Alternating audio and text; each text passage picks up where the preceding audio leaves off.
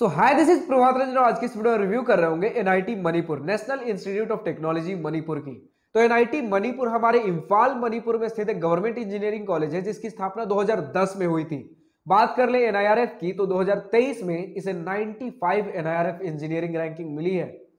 हर college review video की तरह आज की इस वीडियो में भी सबसे पहले क्विकली इंटरनेट पर जितना भी डेटा अवेलेबल है like placement admission process cut off fee structure बहुत क्विकली डिस्कस करने के बाद आराम से, इत्मीनान से college and hostel life discuss कर रहे होंगे। तो स्टार्ट कर ले प्लेसमेंट के साथ। तो एनआईटी मणिपुर ने बहुत कुछ डेटा तो ऑफिशियली नहीं बता रखा है बट फिर भी हमने इधर उधर से जुगाड़ करने की कोशिश की है। तो सबसे पहले अगर ऑफिशियल डेटा की बात करें तो 2022 में हाईएस्ट पैकेज 47 एलपीए रहा और एवरेज पैकेज 9.7 एलपीए 2021 का एवरेज पैकेज 8.7 एलपीए और 2020 में 6 एलपीए यानी कि एवरेज पैकेज काफ़ी तेज़ी से बढ़ रही है। इन शॉर्ट प्लेसमेंट्स काफ़ी तेज़ी से बढ़ रहे हैं। तो अब अपने अनऑफिशियल डेटा की शुरुआत करते हैं पहले प्लेसमेंट परसेंटेज के साथ। तो कंप्यूटर साइंस में 100 परसेंट इलेक्ट्रॉनिक्स में 100 परसेंट इलेक्ट्रिकल में 85 परसेंट मैकेनिकल में 80 परसेंट और सिविल में काफ़ी कम, पाँच से दस परसेंट बताया जा रहा है। अभी इन्होंने ऑनलाइन ऐसा लिख रखा है बट फिर भी अब मैं तो एग्जैक्टली बता नहीं सकता बट पाँच से दस परसेंट यार काफ़ी कम होता है तो इसके ऊपर मुझे थोड़ा संदेह है। बात कर ले एवरेज पैकेज की तो कंप्यूटर साइंस में 12.5 एलपीए सिविल में 5 एलपीए, मैकेनिकल में 7 एलपीए और इलेक्ट्रिकल एंड इलेक्ट्रॉनिक्स की हमारे पास डेटा नहीं है। हाईएस्ट पैकेज की बात कर ले तो कंप्यूटर साइंस में 47 एलपीए, सिविल में 7 एलपीए, मैकेनिकल में 21 और अगेन इलेक्ट्रिकल और फिर इलेक्ट्रॉनिक्स की डेटा हमारे पास नहीं है। लोएस्ट पैकेज की बात कर ले तो कंप्यूटर साइंस में 5 एलपीए, सिविल में 3.5 एलपीए, मैकेनिकल में 5 एलपीए। अगेन हमारे पास इलेक्ट्रॉनिक्स और इलेक्ट्रिकल का डेटा नहीं है। इलेक्ट्रॉनिक्स और इलेक्ट्रिकल का हमारे पास सिर्फ़ प्लेसमेंट परसेंटेज है, मैंने स्क्रीनशॉट लगा दिया है, वहाँ से आप देख सकते हो। तो ओवरऑल अगर हम प्लेसमेंट परसेंटेज की बात कर ले तो 70 परसेंट रहा है और एवरेज ओवरऑल पैकेज मैंने बता ही दिया 9.7 एलपीए 2022 का। तो अगर इनके परिस्थितियों को ध्यान में रखें तो प्लेसमेंट्स काफ़ी बढ़िया, क्योंकि सबसे पहली बात 2010 में नया नया कॉलेज खुला है, ऊपर से नॉर्थ ईस्टर्न एनआईटी और नॉर्थ ईस्टर्न एनआईटी में भी कनेक्टिविटी की काफ़ी दिक्कत है। लाइक नियरेस्ट रेलवे स्टेशन आपका दीमापुर रेलवे स्टेशन है 206 किलोमीटर दूर। उसके बाद गुवाहाटी रेलवे स्टेशन 489 किलोमीटर दूर। तो कनेक्टिविटी की दिक्कत आ सकती है। पहले आप रेलवे स्टेशन पे उतरिए, फिर एक लंबा चौड़ा बस या टैक्सी का ट्रेवल लीजिए। और अगर बात कर ले एयरपोर्ट की तो वहाँ थोड़ी सी बढ़िया बात है। अगर मैं ढंग से प्रोनाउंस कर पा रहा हूँ तो बीर तिकेंद्रजीत इंटरनेशनल एयरपोर्ट इम्फाल, सिर्फ़ और सिर्फ़ 11 किलोमीटर दूर। तो एयरपोर्ट तो बढ़िया है बट रेलवे स्टेशन काफ़ी दूर है, जो कि हमारा मेजर सोर्स ऑफ़ ट्रांसपोर्टेशन हो रहा होता है। तो यही सारी चीज़ें अगर हम बात कर ले एडमिशन प्रोसेस की तो हर एनआईटी की तरह सबसे पहले आपको जेई का एग्ज़ाम देना और जेई में जो रैंक बनेगा उसके बेसिस पर आपको जोसा और सीसैप काउंसलिंग में कॉलेजेस और ब्रांचेस अलॉट हो रहे होंगे। बात कर ले कट ऑफ़ की तो हमारे पास JoSAA 2023 round six general student gender neutral category cut off का स्क्रीनशॉट लगा हुआ है। अगर हम बात कर ले कंप्यूटर साइंस इंजीनियरिंग के होम स्टेट कट ऑफ़ की तो तीन लाख दो हज़ार चार सौ पच्चीस रैंक पर क्लोज हुआ था। यानी कि जनरल स्टूडेंट होते हुए भी अगर आप जेंडर न्यूट्रल हो तो भी यहाँ पर आपको कंप्यूटर साइंस बड़े आराम से मिल जाती है। बट हम बात कर ले किस लोकेशन में सिचुएटेड है तो उधर इतना ज़्यादा इंजीनियरिंग का क्रेज है ही नहीं। अगर हम बात कर ले अदर स्टेट की तो वहाँ कंप्यूटर साइंस बंद हुआ था राउंड सिक्स में। 29,644 for general student gender neutral category 2023 की मैं कट ऑफ़ बता रहा हूँ। तो अदर स्टेट वालों के लिए तो as usual cut off competition काफ़ी ज़्यादा रहने ही वाला है। बट होम स्टेट के लिए एडमिशन लेना काफ़ी आसान है यहाँ पर।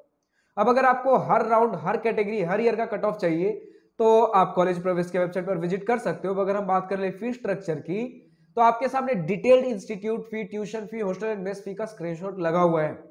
हर एनआईटी की तरह आपका ट्यूशन फ़ी 62,500 पर सेमेस्टर रहने वाला है। अगर आप एस सी कैंडिडेट हो तो कोई ट्यूशन फ़ी नहीं लग रहा होगा बट बाकी सारे फ़ी लग रहे होंगे। अगर आप ओबीसी जनरल कैंडिडेट और एक लाख से नीचे का इनकम सर्टिफिकेट जमा करते हो आपके लिए भी कोई ट्यूशन फ़ी नहीं है बट बाकी सारे फ़ी लग रहे होंगे।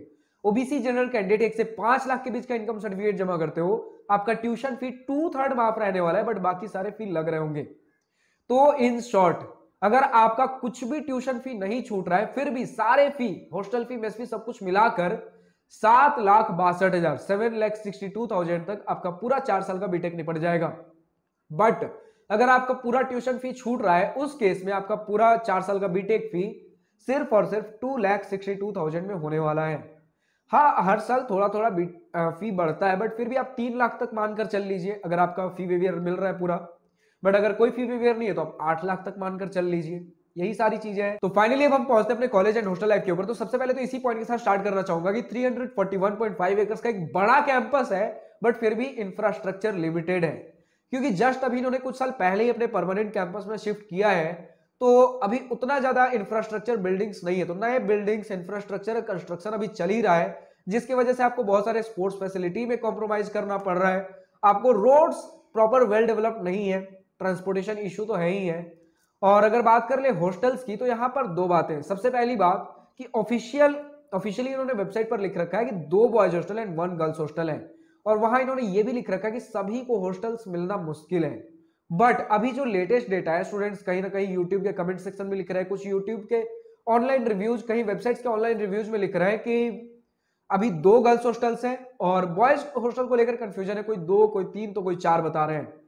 तो अगर हम मानकर चले कि इनका जो ऑफिशियल डेटा है, अगर ओल्ड डेटा है अपडेट नहीं हुआ है और जो स्टूडेंट्स बता रहे मतलब हॉस्टल्स की संख्या इंक्रीज हुई है तो इसके हिसाब से हम मान सकते हैं कि सभी को अकोमोडेशन मिल सकता है। क्योंकि नंबर ऑफ़ स्टूडेंट्स इनके पास कम होते हैं। ज़्यादातर लोग इस तरीके के नॉर्थ ईस्टर्न नाइटी में नहीं जाते बट फिर भी जो जाते हैं उस हिसाब से, अब नंबर ऑफ़ हॉस्टल्स मुझे सफिशिएंट लग रहे हैं। मेस की बात कर ले तो प्रॉपर मेस फैसिलिटी नहीं बताई गई है। खाने का क्वालिटी बिलो एवरेज बताया गया है बट अगेन एक ही चीज़ है कि आपको नेचुरल ब्यूटी देखने को मिल रही है और प्लेसमेंट्स बढ़िया है। क्योंकि एक तो कनेक्टिविटी इशू है, ऊपर से नॉर्थ ईस्टर्न ऊपर से 2010 में फिर भी अगर आपको इतना बढ़िया प्लेसमेंट्स देखने को मिल रहा है, ऊपर से इतने कम कट ऑफ़ पर भी तो आप आराम से जा सकते हो इस कॉलेज में। बट वही बात है, आपको फैसिलिटीज़ आपको कैंपस कॉलेज लाइफ में कॉम्प्रोमाइज करना पड़ेगा। लेबोरेटरीज लाइब्रेरीज है बट फिर भी जिस क्वालिटी के होने चाहिए, जिस लेवल पर उस हिसाब से नहीं है। इंफ्रास्ट्रक्चर में कहने का मतलब बहुत ज़्यादा हद तक आपको अभी आज के डेट में कॉम्प्रोमाइज करना पड़ेगा। स्टूडेंट एक्टिविटीज़ होते हैं बेसिक बेसिक एक्टिविटीज़ क्लब्स हैं, और फेस्ट की बात कर लें तो आउग्री नाम का ओ यू जी आर आई अगर मैं ठीक से पढ़ पा रहा हूँ तो इनका टेक्नो कल्चरल फेस्ट होता है। ठीक ठाक लेवल पर होता है मतलब इंजॉय कर लोगे आप। कॉलेज लाइफ यहाँ पर थोड़ी बहुत आपकी निकल कर सामने आ रही होगी, वरना कैंपस इंफ्रास्ट्रक्चर उतना बढ़िया मेंटेन नहीं है। नया नया कैंपस है धीरे धीरे कंस्ट्रक्शन हो रही है। तो यही सारी चीज़ें थी। अब आप देख कर जाइए, आपको इस कॉलेज में एडमिशन लेना है या फिर नहीं लेना है। हाँ एक और चीज़ बताई जा रही है हॉस्टल्स में फ़र्स्ट और सेकेंड ईयर का हॉस्टल उतना बढ़िया नहीं है। बट थर्ड और फोर्थ ईयर के हॉस्टल्स थोड़े से बेटर है बेटर फैसिलिटीज़ प्रोवाइडेड है इन कंपेरिजन टू फ़र्स्ट और सेकेंड ईयर हॉस्टल्स अगर मेडिकल फैसिलिटी की बात कर ले तो एंबुलेंस की सर्विस अवेलेबल है बस फैसिलिटी अवेलेबल है, ताकि आपको जल्द से जल्द अगर कुछ बीमार होते हो तो नियरेस्ट हॉस्पिटल में आपको कैरी किया जा सके। तो यही सारी चीज़ें आप कमेंट सेक्शन में लिखकर बताइए और किस कॉलेज का आपको रिव्यू वीडियो चाहिए, आज के इस वीडियो में इतना ही। अगर वीडियो पसंद आई हो तो लाइक शेयर सब्सक्राइब दिल खोल कर करिएगा और अगर कुछ दिल की बातें, कुछ बड़ी बातें लिखकर बतानी हो या पूछनी हो तो कमेंट सेक्शन आप ही के लिए तो है। So thank you for watching this video. Goodbye, I Wish you all the best for future. Enjoy journey.